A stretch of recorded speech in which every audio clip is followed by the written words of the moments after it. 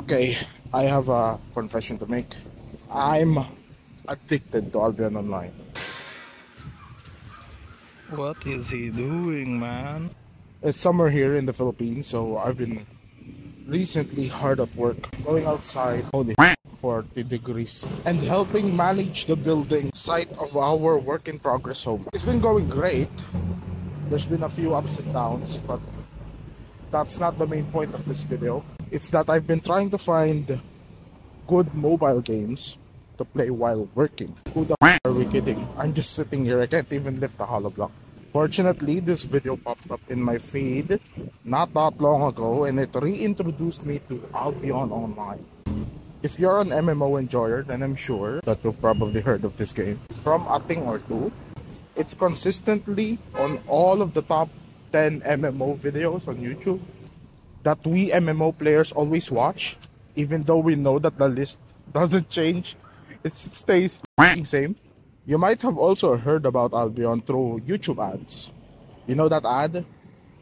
Where the guy with a cool wizard's voice says, Albion Online is a sandbox MMORPG where you write your own story type shit. That guy needs a mint. Also, he needs to get his throat checked. Holy. The game was released back in 2017 for PC as a buy to play or wait was it for subscription? I i honestly forgot. Whatever it was it didn't get as much attention as they were hoping for. So they went free to play in 2019 where it got a huge influx of players. I remember watching a LazyPeon video about it and i was gonna try it out but i was deep into my warframe addiction at that point so it wasn't until 2021 when they released their cross-platform update that I heard from this game again. And with the pandemic keeping us locked into our houses, I decided to give the game a good crack, you know? A good one-two punch of a try. A good... I can't think of any more metaphors. So hot. So I downloaded it on my phone, right? Waited for all the installations to complete and ultimately uninstalled the game after less than 10 minutes. Okay, it most likely wasn't the game's fault. I was using my Samsung A21s, a phone that wasn't really meant to play hardcore video games. Only game it could run was Angry Birds. so I installed it on my laptop with an i5 and a GTX 1650 and played there instead.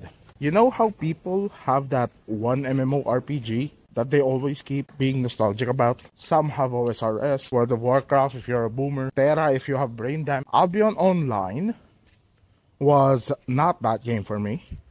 It was Pet Forest. If you guys don't know about Pet Forest, then let me fill you in. Because it was the back in grade school. It was an isometric browser-based MMORPG where you leveled up by grinding mobs and completing quests. It had awesome turn-based combat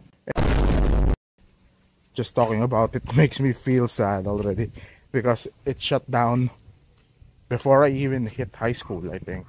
Man.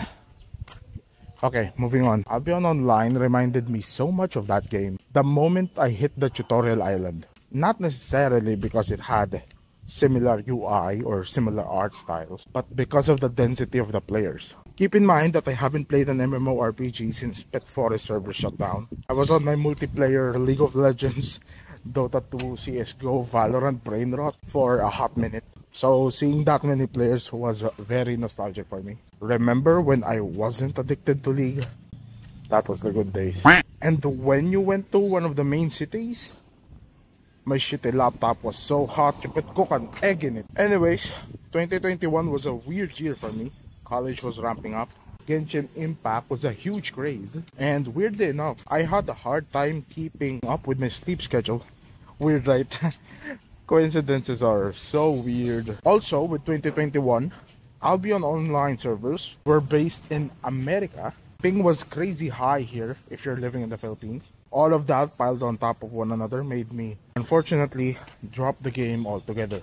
That was until last week where I watched this video and installed it on my now fairly powerful PC and new phone to try out while sitting under the scorching hot sun. Why is it so hot? The game is amazing. It has tons of depth to it much more than I expected. A mobile MMO to have. It also has Asia servers now, which is a huge W for Filipino players. I heard that Europe servers also just released. Right now, during the recording of, this video, they just broke their highest player concurrent record. You don't hear MMOs doing that nowadays. The Albion world is separated in different zones, which have four different categories. Blue zones are beginner friendly zones, lower loot, low tier resources, but safe from high level mobs and other players. Other players? Reflect to you. The game is a PvP MMORPG by the way. The main focus is PvP, player versus player. How many times do I have to say PvP before you? Blue zones are pretty chill, you know? Most new people stay there for a while, scared of the dangers of the other zones. But it's like playing chess against a bot on easy mode. Like playing basketball against a five-year-old, you know? I know it sounds safe and fun. Right now, it feels so good to see that little bitch cry, right? But eventually, it will get boring. And that's where the yellow zones come in. You guys know how this works, right? Harder zone, harder mobs, better loot. Nice, right? This is also the zone where people start to see more PvP action, but not by much. Since PvPing in the yellow zones doesn't really give you that much, and you still need to flag up to PvP with other people, but it's enough to give you a taste of the real thing. Red zones are the next step in difficulty. Same thing, better rewards, more fame, which is what they call EXP in the game by the way, better resource nodes, and much, much more PvP. Red zones are where the full loot aspect of the game starts out. Full loot PvP is essentially Minecraft. Every time you die, be it from a mob, a single person, or an army of Grimmage campers, every single item you have, even your armor, drops on the ground, just like uh, Minecraft. This is usually where MMO players check out, and honestly, I get that. Why the hell am I grinding for good gear if I could just lose it all isn't that dumb? The main point of MMOs for most people is progression. To lose that on one death feels like shit. And I absolutely agree. That's why I never really understood the appeal of hardcore WoW. It feels like a waste of time, right? When I first played the game, I had the same feeling too. But the longer I played, the more I realized that the game's progression isn't tied on the gear itself, but on the Destiny board, which looks familiar.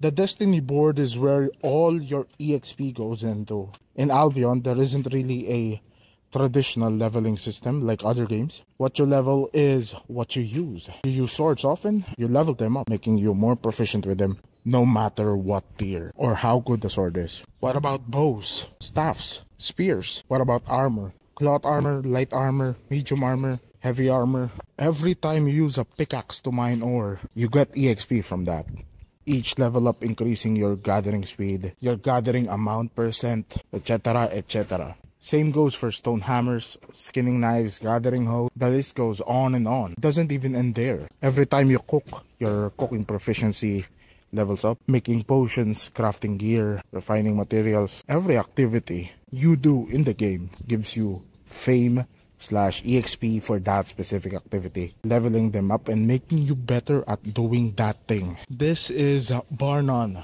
the best thing about Albion Online. You could choose what you want to specialize on, be a max level potion brewer, the fastest tree chopper in the world, the strongest great axe user that wears a cloth helmet, leather boots, and a metal chestplate. The fuck, who the fuck wrote this script? What I'm essentially saying is that the Destiny board is the progression. Because of this fact, I treat the gear I wear on Albion as consumables more than anything else. Another fun fact in Albion is that one-on-one situations is more skill-based than it seems. An experienced player with better gear and better levels on that gear can match up with some rando with the highest gear available. Sidrouf, wasn't losing your gear every time incentivizes you to not bring good gear and just bring the bare minimum? Yes, that's the meta actually. It's absolutely idiotic to bring tier 8 gear on red zones when you don't even know what you're doing. Especially since all it takes is two experienced gankers with tier 4 gear to steal that off of your corpse. Every time you die on the red zones or above, some of your gear can be looted by other people, while some of the other gear just gets destroyed, incentivizing the player economy to create more of that item and avoiding stock inflation. That's why being an armor maker is still a viable method. Getting silver in the game after so many years, you're seeing the economic circle now, right? It's crazy. Keep in mind that I'm only explaining the basics of the game. There's a bunch of stuff I haven't even talked about, like the black market, corrupted dungeons, the arena,